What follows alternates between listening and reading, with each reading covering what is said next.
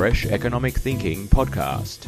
New ideas and analysis with Dr. Cameron Murray and Jonathan Gadir. Welcome to another episode of Fresh Economic Thinking. Cameron Murray here. Jonathan Gadir is having a break, but do not worry because we have a special guest this week. Matthew Maltman is with me. He has created a website called One Final Effort, uh, documenting upzoning around the world, and it has become a bit of a global resource in the movement to upzone cities. Uh, I've never met Matt before, so I was very keen to talk to him. Uh, welcome to the show, Matthew Maltman. Thanks for having me. Great to be here. Well, why don't we start um, by perhaps letting you introduce yourself to the listeners? How is it that a, an Aussie economist um, gets this interested in housing policy and and is motivated to start a website like this? What were you hoping to achieve? Yeah, hi. So um, I'm Matthew Maltman. I'm currently a research economist at the E61 Institute, which is a nonpartisan uh, think tank. Um, so I got interested in housing economics around two years ago. I was working at the Australian Productivity Commission on an inquiry into housing in Australia. And as part of that, I was looking into housing supply. Um, and throughout that process, I became quite fascinated by an emerging literature and uh, evidence base that was coming out of the US as well as New Zealand and other countries, where essentially a lot of places have been talking about for a while the fact that you know zoning may be a, a restriction on housing supply, and a few places had finally you know ju- uh, gotten onto it and finally have actually made these reforms. And so it was a particularly unique moment, in my opinion, because for a while there's been a lot of debate about whether zoning actually restricts supply and if so, mm-hmm. how it does it and these kinds of things. But to actually have places where you had empirical evidence, new evidence emerging became kind of a, a way to cut through um, some of the debates in the literature. So um, once I left the Productivity Commission, I started a blog. Uh, as you mentioned, onefinaleffort.com is where it's at. And essentially, the aim and objective of that was to uh, firstly document where this was happening because it was happening across the US as well as New Zealand, as I've mentioned. Canada, I think, is about to get in on it. And so play, people didn't really have a resource to be able to go to and say, well, where has it happened? When has it happened? And what, what have the reforms actually been? So just creating that was something that I thought was valuable. But secondly, was kind of agglomerating documenting this evidence because um, you have very high quality academic literature, which looks at causal effects and things like that. But no one was really documenting just over time what's happening, what's happening to consents, what's happening to rents, what's happening to all these variables. And if there's just a one stop shop that people can go to and they can look at these effects, it could facilitate more debate and all these kinds of things. So that was the idea behind it. And what's been the response? Um, I'm I'm personally very entrenched in these debates, so I see mm. your website popping up now in all sorts of different places. Has it connected you with people from around the world? What's been the, the, the sort of fallout for you personally in terms of your economic connections and and your notability? Yeah, it's been a great response actually. So it's kind of quite fascinating. So the main way that I've spread it is through my my Twitter account, and the response has been really interesting insofar as it initially went through the Australian economics, housing economics space and got a, a reasonable response there, facilitated some debate. But over time, it's just kind of finds new ways to penetrate different areas. So then, you know, there's a Californian YIMBY movement where they started to share some of the work that I compiled. And then um, randomly the other week, Poland, a bunch of Polish YIMBYs started to go through it and things like that. Obviously, New Zealand being a big part of it, you know, New Zealand academics getting involved. So it's kind of brought together a very broad community. Um, you know, some journalists have, have gotten around it. I think Matthew Yglesias at one point retweeted some of my work. So it's just been oh, quite wow. fascinating seeing a variety of a variety of people kind of being quite interested in these issues coming from different backgrounds, be it academic or kind of lay people being interested in urban design and things like that. So um, yeah, it's been great for me. I've really enjoyed it. Yeah, it's it's been amazing, uh, which is why I thought I should reach out um, because you know you're just this. Uh, I guess like me in many ways, this Aussie economist mm. start blogging and and sort of things go around the world uh, mm. with with social media these days. So maybe it's we should talk about the sort of um, the theoretical and it sort of empirical debate that that you mentioned just before. You sort of said there was this debate going on, and then finally we had uh, these case studies to look at in reality. Talk mm. me through what's the what's the main argument here, and and what's the controversy about upzoning, and you know what's what's it trying to achieve? Yeah, so it's been quite fascinating, as I mentioned, and even up until very recently, you have uh, two sides of the debate. I suppose you've got the the YIMBY side, kind of encapsulating a broader them, which includes academic economists and things like that as well. And then I don't know if this is a derogatory term, but some people refer to them as left NIMBYs or people who are very skeptical about market rate housing. Um, yeah, I, I, think I'm. I, think I'm one of them. I'm skeptical of how much the property market can do for, mm. for example, tenants. But we, you know, we'll get onto that. I, I want to sure sort of um, get onto your view. So there's the mm. uh, the Yimbys and these left NIMBYs. Yeah, I, I, don't know if that's a term that people like being referred to, but I don't really have another term for them. Um, but yeah, for, for quite a while, it was a debate about complex methodologies and econometric methodologies. So I'm sure I know you've done some work mm. on mm-hmm. the Glaeser Gyourko methodology and things like that. Mm. Then you have these very high level case studies. So people talk about like Tokyo and Houston and things like this. So um, it was a debate which um, didn't really have a cut through. Like both sides were quite entrenched. Mm-hmm. And so what we've had over the past decade essentially was a bunch of places have relaxed um, their zoning restrictions. And so from a, a kind of neoclassical economist's frame, framework, that would relax the restrictions on supply, which would shift supply to the right and make it more elastic, which would lower house prices and make them more affordable and lower rents and make them more affordable. So that was mm-hmm. kind of the theoretical framework that some people believed, whereas other people mm-hmm. believed that market rate housing wouldn't um, market rate housing wouldn't affect affordability either at the lower end of the market or mm. um, things like that. Um, very simplifying positions here, but essentially mm-hmm. what mm-hmm. what uh, I started to look at what a bunch of academic economists have looked at is okay, well, we have Auckland, which is upzoned three quarters of suburban land. What has the impact of that been, both from a causal perspective and kind of more of an inferential, empirical perspective? So, just documenting a lot of these things. So, relying quite heavily on that empirical literature rather than trying to make, well, in theory, this should occur or whatever. It's it's actually looking at what actually did occur, and then we can have debates about that impact opposed to speculating, I suppose. Yeah, it's it's funny you say that because um, my position is obviously skeptical of, of mm-hmm. what we end up achieving, and I guess I'll come back to what I what you think is the best metric of success. Um, uh, so uh, I've been very supportive of upzoning in general, very cautious that in practice that means sort of giving away a lot of value to the existing private property owners in the process. So my background is uh, working for property developers and working in planning in the government, and uh, yeah, so a lot of the game in property development is, is, sort of getting buying land zoned at one use and getting it up zoned right, for a mm-hmm. freebie, because it's much much easier to invest in changing the rules than invest in building houses. so mm. so that's always in the back of my mind and probably explains my my caution mm-hmm. uh, about it all. Um, so we we I've still though been supportive of just doing the experiment, and so we've done it in New Zealand. Well, New Zealand's done essentially the best that anyone has proposed, as far as I can see, uh, and that was in 2016. Can you maybe just um, talk us through what happened in Auckland and uh, in terms of the upzoning and what you've documented on your website about the fallout from that? Because it's been essentially closing in on seven years um, mm. since that decision. So there's there's plenty to to see. Yeah, absolutely. So Auckland's kind of the best case example in terms of it was a very broad, broad and sweeping reform. It was a reform where the city cap, the city government of Auckland upzoned three quarters of the suburban land. So it was very broad, and I suppose that's something that's been very good for the debate because when we've had a lot of upzonings or rezonings in the past, they've been very small scale or piecewise, or like you just mentioned, potentially a, a particular developer lobbying or what have you. This was a very broad scale reform.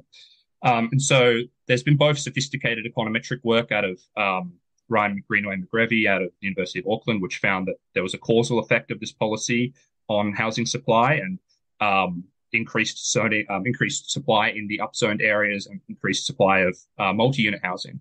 But what I've also been documenting on my website is just looking at, okay, each month, what's happening to dwelling consents? Are they still going up or are they still going down? And they're still going up. And so essentially, we've had this pretty large increase in uh, dwelling supply in Auckland post uh, upzoning. Mm-hmm. So it's been increased by uh, quite a significant percent, and also the composition's increased significantly. So before it was just under half multi-unit housing, and now it's about three quarters, I believe.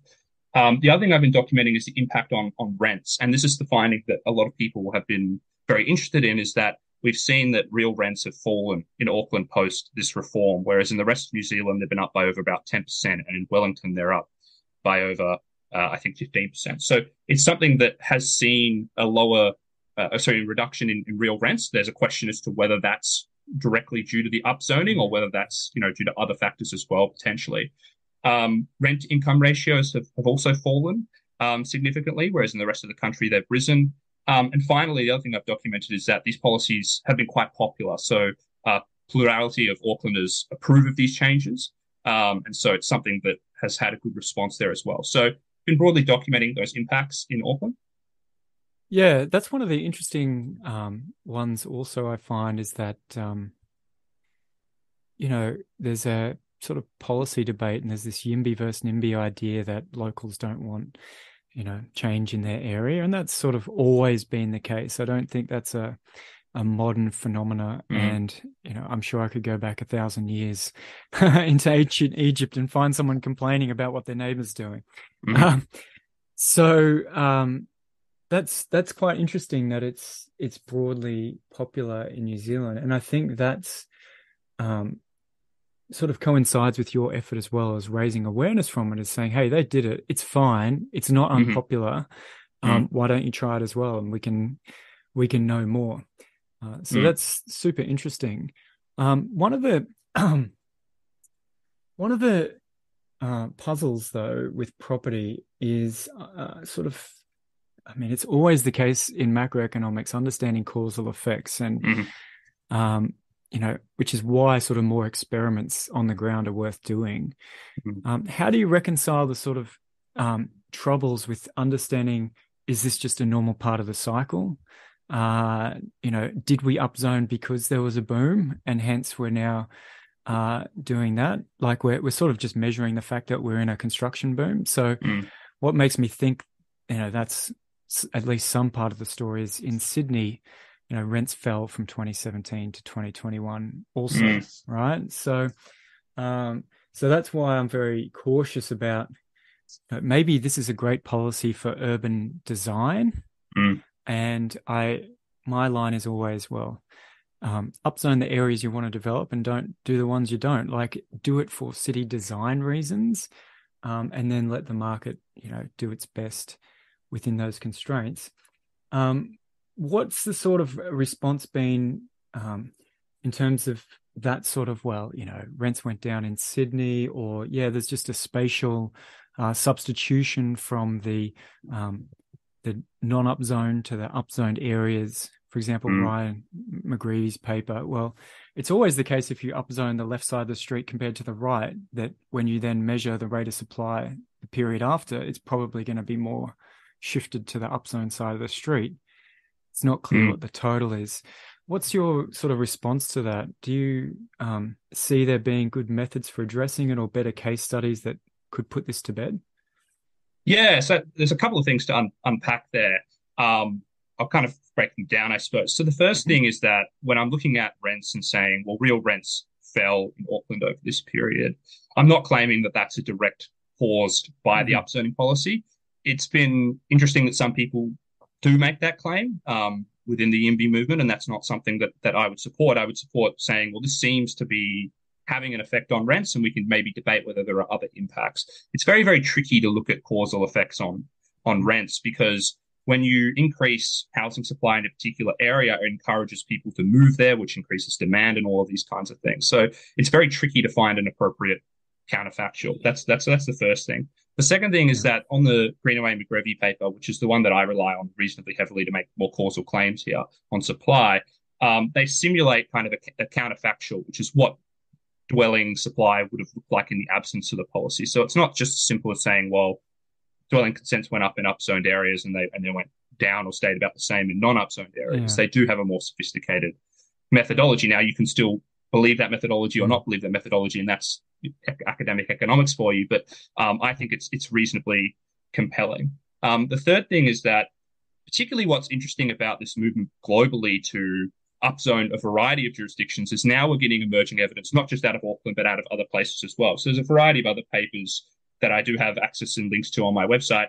Um, so there's a, a, paper by an academic called Dong out of Portland, which found that upzoning there increased um, supply, it increased development on upzoned parcels. Um, there's a paper by Büchler and Lutz out of uh, Switzerland, um, Zurich, which also finds the same thing. Um, and then there was a paper recently that came out, I believe, this week by an academic called Stacy, and as well as Freemark, which um, oh, yeah. looked at kind of uh, upzonings around the US or policy reforms around the US and found that that also had a correlation to increased supply. But I would really like to see a big movement out of, you know, there's upzoning now in Minneapolis, there's upzonings now in North Carolina and places like this. I would really like to see a lot of new literature here to really cement the robustness of this finding. I think that's a great opportunity for this debate to be furthered still. Yeah, I think you're right. I think the more that these changes happen on the ground, and mm. I actually um, to be honest, I sort of see in the background not just the sort of um, housing market affordability element to upzoning, but in the background, an urban design, mm. getting people comfortable with consolidation, mm-hmm. a change in tastes and preferences. You might call it as an economist. I see, I see that effort as quite productive in general. Mm-hmm. So, um, I'm I was the vice president of my local community group, and um, yeah, it's quite interesting to see when we'd go out and talk to young people. They're like, yeah, whatever, do this. I'm like, I, I moved here now because I like the more cosmopolitan lifestyle and I'm comfortable that things change. Whereas the mm-hmm. older groups are like, well, I moved here because it was all detached houses and it was a secret, quiet pocket, mm-hmm. right? So I think the movement is is possibly just getting people more comfortable that hey, cities are going to change.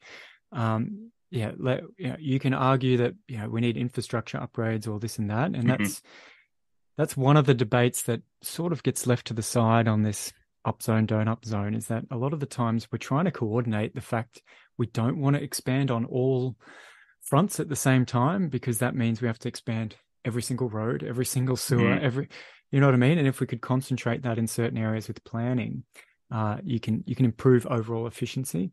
So that's sort of also something that's by the by. But uh, I think we're definitely on board uh, with the experimentation element. Mm. That you know it's it's super useful. So I guess one of the other questions is, um, you know, my uh, my background is somewhat political. Uh, I wrote mm-hmm. a book about grey corruption in Australia, and so one of the um, political contradictions I see in this debate um, is that uh, the property industry lobbies to upzone, right? They lobby to for mass upzoning, spot upzoning, you name it. Uh, and the logic is, well, this is going to lower rents for household renters. Yet we see whenever we try and lower rents with other types of policies, for example, in Queensland this week, we proposed a, a limit on how quickly you could raise the rent on a sitting tenant within hours, the property lobby is out there saying, you can't do that. You can't do that. You know, low rents are bad. And yet at the same time, the same lobby is saying, no, upzone us because that will lower rents. Right. So, so how do you reconcile the, the po- politics of this that, that developers love upzoning, landlords love it. There's 18 million landlords in Australia. Predominantly, they're not going to redevelop. They're just going to lose rents if if that's the case. How do you reconcile that sort of political tension?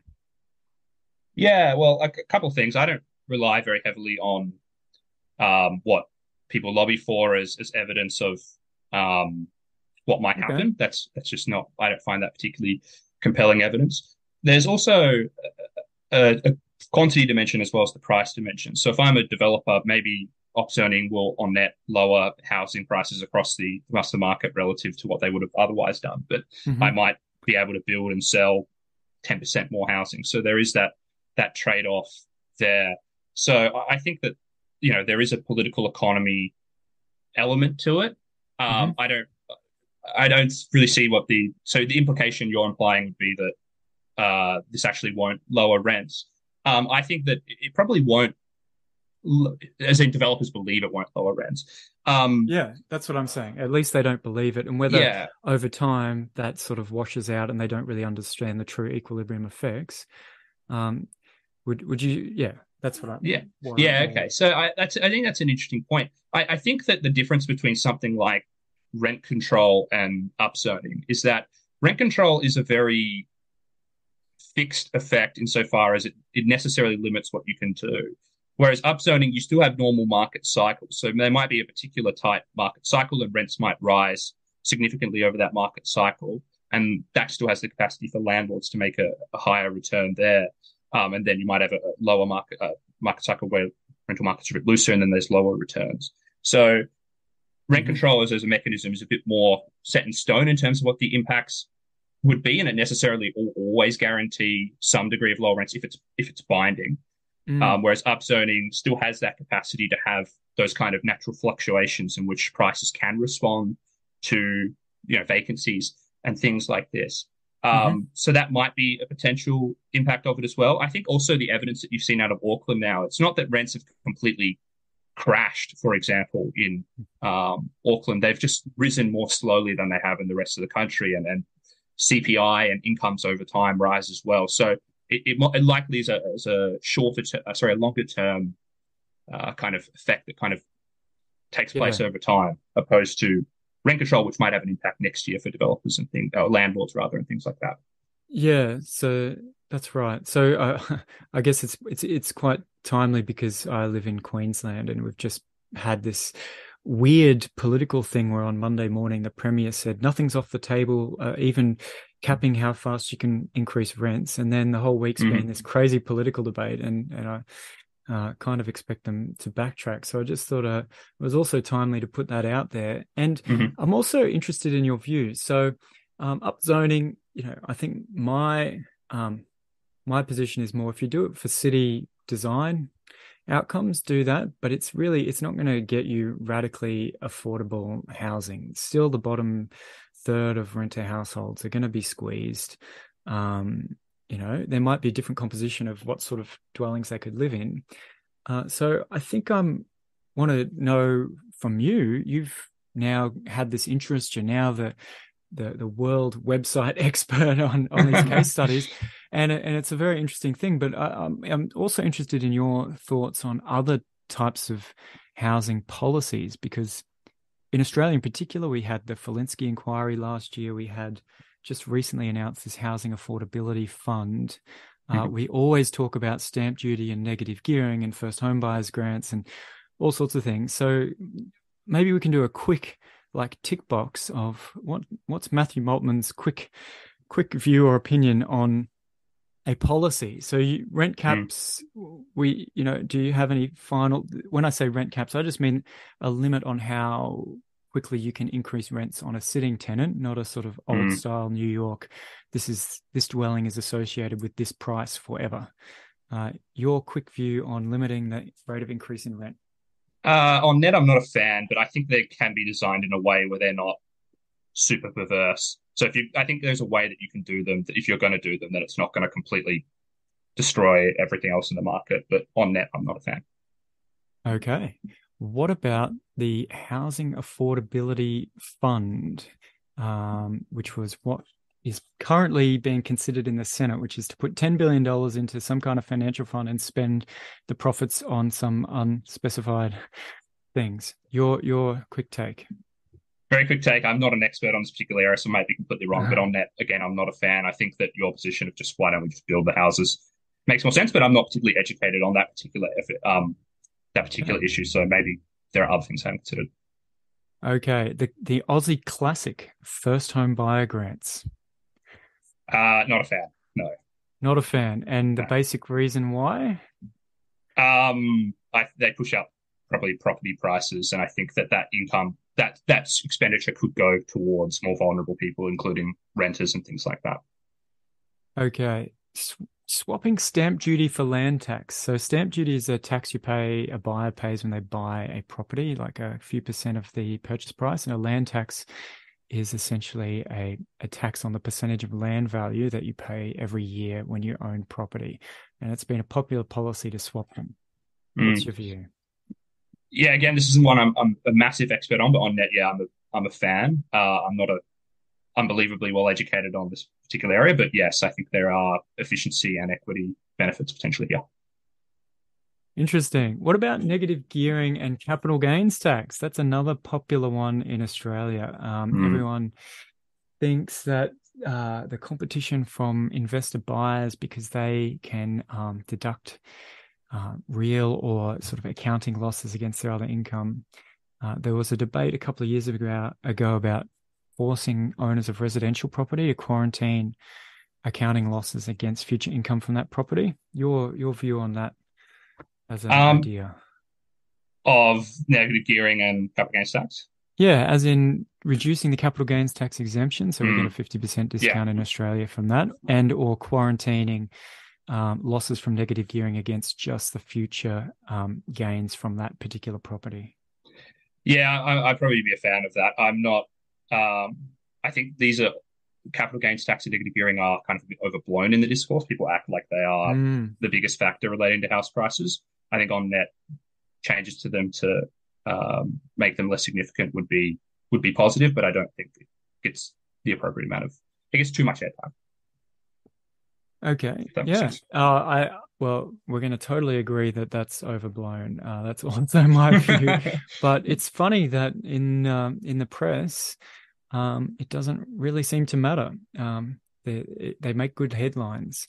Mm-hmm. Um, your thoughts on f- substantially expanding public housing? That's government owned housing, either for lease at a very discounted rate or for sale at a you know to to tenants over time at a very discounted rate. Are we including community housing in here, or is this specifically public housing? Just just public, run by the states. Yeah.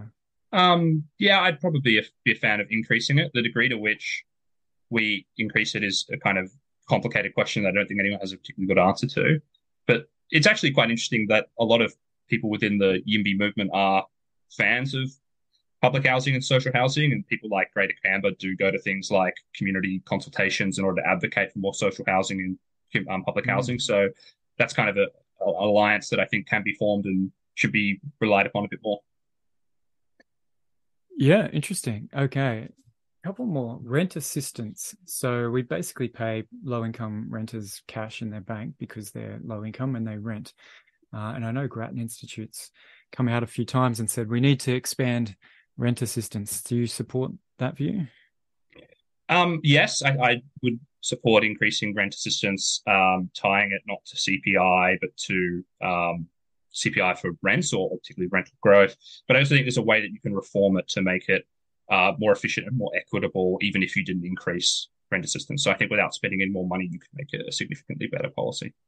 In in what way? What are you hinting at there? So rent assistance is a function of several variables. It's a function of how much rent a tenant pays, and there are different categories. So if you're a single household, if you're a, a mm-hmm. family household, etc., those criteria in terms of how much CRA you receive haven't been reviewed properly in 20 plus years. So you could tweak those criteria to make it so that it could be redistributed in a way where more vulnerable households receive more CRA and less vulnerable households receive less, even without spending any more money. But I think you should probably also spend more money as well.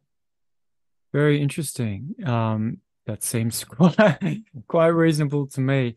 So, mm-hmm. One of the last things I want to ask you about, um, a lot of the talk at the moment is about you know the immigration floodgates in Australia, and I uh, put out a tweet the other day saying, "Isn't it funny that uh, property, the property development lobby says we've got a housing shortage, but we should definitely just keep jacking up immigration. Uh, do you have a view on on that, or whether that's a contradiction, or how do you where do you stand on that debate? Um, I, I don't really particularly care what the housing lobbyists say. Um, I think building more housing is probably a good thing, and more immigration is also a good thing. I think, like, if your if your point is that the housing lobby and developers would like more immigration because it would mean that in the long run there's more demand for housing. That's probably true. But I think that from a public policy point of view, immigration brings a variety of benefits. So we should find ways to ensure that we can take in as many migrants as we can. Um, and building more housing has a lot of other pub, uh, a lot of other benefits. So I think we should try and do both of those things. Very interesting. So I, I want to you know, we're not Joe Rogan, as I say here. We don't do four hour podcasts. We mm-hmm. we get someone on, get their key insights. Um, in terms of where we started with this whole story on upzoning and the case studies. Mm-hmm. Where has the politics progress? What what's coming down the pipeline? Are you following um, different cities or different countries where you're expecting new experiments to arise? Where should I and my listeners um, be on the lookout for the next case study?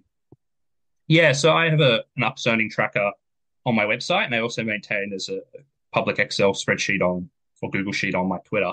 And so there I'm tracking where these things are occurring. Um, and it's actually going to be really fascinating because in 2020, 2021, 2022, particularly in America, there were several cities that did upzone. So, like Raleigh, North Carolina is one. There's been a bunch of reforms in California. And so we're going to start to see some of the impacts of these policies over the next year or two. So we'll have not just Auckland and Minneapolis and Portland, but we'll have a variety of responses. So that's something to keep a particular eye on. So if you're interested in that, that's a place you can go is on my, my blog or my Twitter account. Um, but in Australia specifically, we mm. don't have much in terms of policy experiments in the pipeline. So that's something as well that I'm pushing for is that uh, all it takes is one government here to really adopt these things and run with them, see what happens. We'll have a bunch of new evidence to move forward the debate. Yeah, that's that's interesting. Where do you think uh, would be the ideal if you were in charge? What what would you do to uh, design a policy experiment? Would you just cut Sydney in half, or would you would you do Sydney or uh, not Melbourne, or would you do half of multiple cities?